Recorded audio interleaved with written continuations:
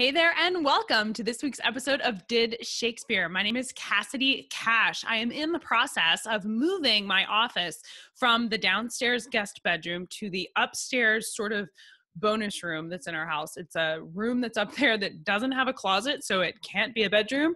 It's just kind of there, and it is going to become my office.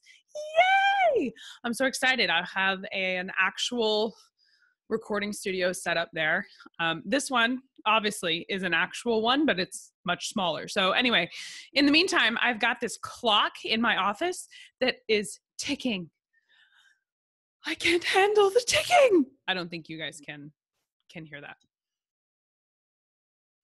If you're new to Did Shakespeare, each week we go exploring into early modern England, specifically into the life of William Shakespeare. William Shakespeare lived for 52 years on this earth from 1564 until 1616, and we focus on that time period very specifically. I don't claim to be an expert in all of the aspects of this time period. In fact, part of the fun of what we do here is to learn and discover things we don't know already. So we ask an interesting question about William Shakespeare, and then I share with you what I was able to find out to start an interesting conversation so that we all learn a little more than we knew before. So this week, the question that we're asking is Did Shakespeare wear shoes?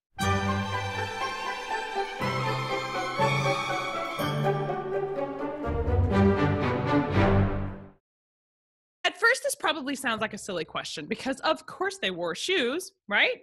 Well, the interesting thing is that the shoes of the 16th century were very different from today. And especially if you're trying to stage Shakespeare's plays or if you're putting together a story of Shakespeare's life and you want to know what to put on your actor who is playing William Shakespeare, being historically accurate about exactly what kind of shoe they would have worn becomes an important question. And this can get tricky to implement. Um, as I learned at a recent production of Romeo and Juliet, they had both Romeo and Mercutio wearing these three musketeer, musketeer, tier, no, these three musketeer style boots that they had on these actors, and it it kind of grated on me because they didn't wear those kinds of boots. Now, this is where history gets a little tricky because historically we measure things in centuries, right? We'll say, well, what did they do in the 16th century? And what did they do in the 17th century? And both Shakespeare and the Three Musketeers will date back to that overarching phrase of 16th to 17th centuries. Well, as you might know from how rapidly our own lives have changed in the last 10, 20, and 50 years, Shakespeare's life was no different. And measuring things by century can sometimes put you a little off as to what is actually historically accurate. And these musketeer boots are a great example of this because the fold over boots with that like flare cover up at the top and the high heel was actually something that didn't start becoming popular until the 1620s. 1620 is four years after William Shakespeare died, and that's not a long period of time to separate someone from a particular style of boot, but having died four years earlier is concrete evidence that Shakespeare probably did not wear the Three Musketeer boots. And more importantly, his players on stage would not have had on this kind of boot. So to put Romeo and Mercutio in musketeer style boots is very historically inaccurate. In this time period, we have paintings of Sir Walter Raleigh that show him wearing sort of what you might consider regular shoes, those kind of tennis type shoes that it's cloth leather or velvet covering the foot and some kind of fastening device. Either uh, it's a slip on where it's sewed together, or later in the 16th century, they'd have had um, lace ties that held them on. And then there's a statue of Sir Walter Raleigh where he actually has on thigh high boots. The thing is, they're not folded over in that bell style you'll see later on the Musketeers. They're pretty stuck to his legs. And so the shorts are really high and the boots come up to about midway up his thigh and they stick to the top of his thighs. They're very form fitting in this statue. And so that got me thinking well, if Sir Walter Raleigh had different kinds of shoes that he wore at different kinds of times, then what kind of shoe did Shakespeare wear? What would be correct to put on him?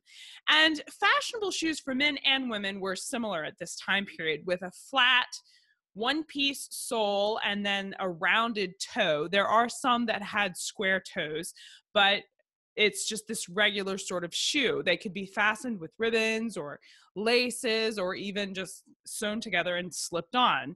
And so, just like today, they had different kinds of different styles, and a lot of it depended on your preference, and some of it depended on practicality. Boots, the thigh high ones, were typically worn uh, to go riding specifically.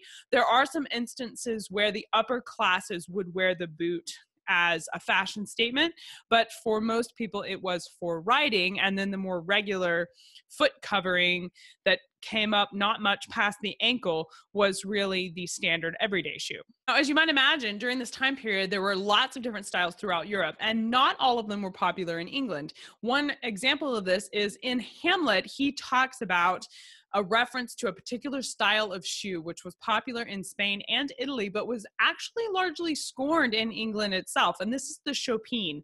The Chopine had was basically a platform shoe, and its platform could be up to two feet high. And the idea was it made women taller and more elegant and allowed them to show off their wealth by needing more fabric for their gowns. The English largely saw this kind of shoe as impractical. I mean, obviously, you're walking around very easy to like break your neck in these shoes so it's not not a practical shoe at all. It's for standing there and looking pretty and i actually wonder if it's not where the phrase putting someone up on a pedestal comes from because if you're wearing this kind of shoe you really are up on a pedestal. I don't know that that's just a random thought. Something fun that this teaches you about shakespeare though is that shakespeare loved to put modern reality into his history plays. Now hamlet is supposedly set in the 13th to 14th 15th century, somewhere around those 1400s. Okay. Shakespeare lived in the 1500s and 1600s, the very first part of the 1600s. And the word Chopine doesn't seem to have existed in English until 1598 or 1611 in Shakespeare's lifetime. Um, I don't think Shakespeare invented this word, but I do think using it was a modern thing. I don't think anyone in the 1400s Denmark would have used this particular word to describe this kind of shoe. And during the 1400s, the show Was pretty specific to Italy and not Denmark. You can see in this portrait of Queen Elizabeth that even as a royal, she wore a rather plain shoe. It was designed to cover her foot, to protect her foot, and there are some embellishments you can see to make it look fashionable or of high value, but it's not elaborate and it's designed as a shoe. Among men's shoes, it was popular to slash the sides so that you could see the color of the stocking in between. And I wonder if this is basically a fashion precursor of the modern day ripped jeans. You know, you go to the store and you can find jeans that have been pre ripped for you. Um, it's kind of that same idea of slashing the side of the shoe to show what was underneath it was a fashion statement. Later, this particular style of men's shoe would be replaced with a kind of tie instead of having the slashing.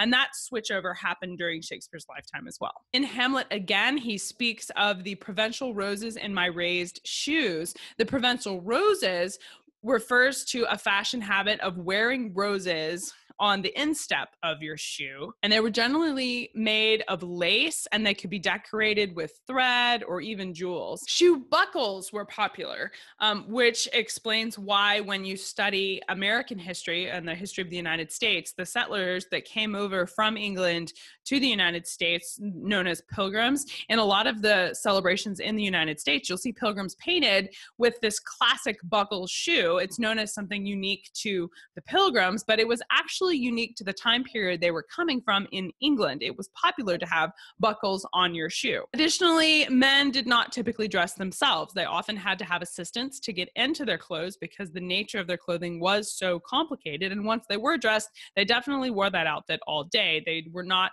keen on having to change clothes because it was really kind of an extreme and arduous task to do that. In 2009, the Museum of London did a display of a shoe that they actually found and they believe that the shoe was used in a play performed on the stage that Shakespeare was in. Now, they don't know, obviously, that Shakespeare wore the shoe, but it was, you really can't get an artifact closer to William Shakespeare than this shoe. From their website, they say the museum is putting a theatrical foot forward this week with a small case display of shoes worn by actors at the legendary Elizabethan playhouse, The Rose. The centerpiece of the show is a shoe recovered from the rose. And the Rose was on the bank side of the Thames in the late 1980s. That's when they discovered the shoe was the late 1980s, but they believe that it dates back to when Shakespeare's plays were being performed at the Rose. They go on to say it is believed to have been worn during actual performances of the 16th century theatrical stage. The remarkable find has enabled the Museum of London to piece together the hidden history of the playhouse.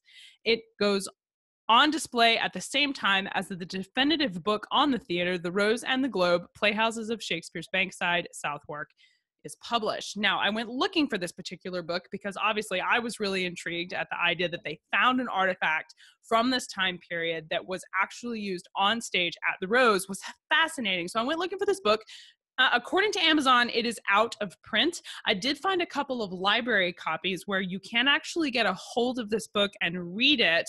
I wasn't able to find a place where you could purchase your own copy. If you know of where you can get your hands on a copy of this book, I would love a copy. And so if you know, please put that in the comments of where we can find that. Now, here is a shoe picture of a man wearing those rounded toe shoes, and that's what was most common the the slashes to so, show off the stockings were earlier in the century and then later that would be replaced with ties. The boots were mostly for riding even though there were a few upper class people that would wear it fashionably. So probably if you are putting if you're trying to dress shakespeare the most likely shoe would be the one that you see on sir walter raleigh um, not the boots but the other ones where the picture of him and his son the just the regular rounded toe shoe tied either with laces or just sewn up like a slip on would be the most likely shoe that William Shakespeare w- would have worn on a daily basis. That's it for this week here at Did Shakespeare. I am Cassidy Cash, and I hope you learned something new about the Bard. Like this video, please hit like and subscribe. As Shakespeareans, we love our friends and we love having more people to discuss our history with. Shakespeare is a lot of fun and the history of William Shakespeare is a lot of fun and it's always greater when you have someone to share it with. So if you like this video, please hit like and subscribe and I'll see you next week. Don't forget, two weeks from today is the launch of That Shakespeare Life podcast where I will be interviewing people on topics just like this one. In the works, we have an interview in production as we speak with a historical costumer who we interview about topics just like this the kind of shoes that Shakespeare would have worn or the ones that would have been used on stage. We are going inside the real life of William Shakespeare by interviewing the experts that know him best. So please stay tuned for that. And don't forget to jump over to iTunes and leave us a review on our very first episode, April 23rd, 2018, is the official launch of That Shakespeare Life. We will have a big countdown over on Facebook and Twitter where I'll be giving away lots of stuff. So be sure to join us over there. See you guys soon. Bye bye.